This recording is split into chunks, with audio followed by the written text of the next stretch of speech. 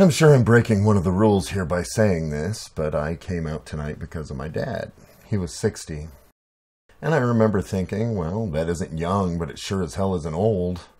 In fact, I'm 35. Based on that, my life is more than half over. I've been taking everything for granted. I've been holding off the rest of my life, and I recently realized that it's all my fault. When I'm not hanging out with my family, I'm just sitting here alone in my apartment, rotting.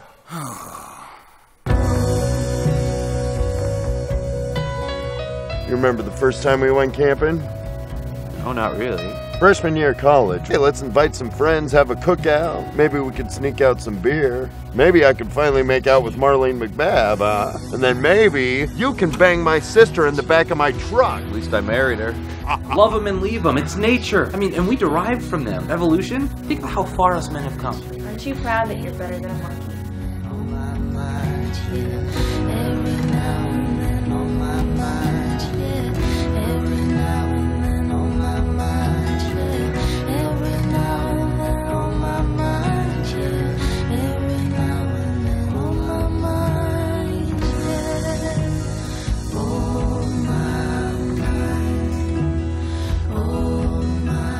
That is the ultimate triumph of comedy over tragedy.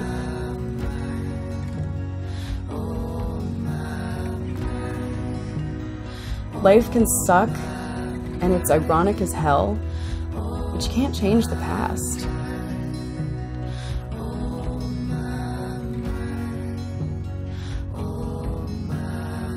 All you have to do is laugh and let it go and move on.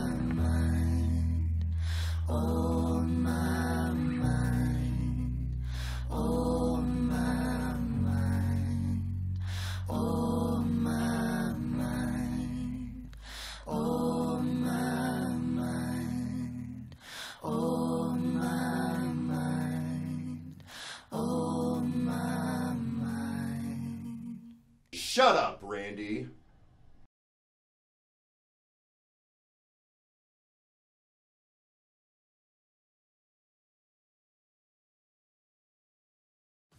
Hey guys, Lisa here with another Hollywood update. Is Marvel planning a Hawkeye and Black Widow movie?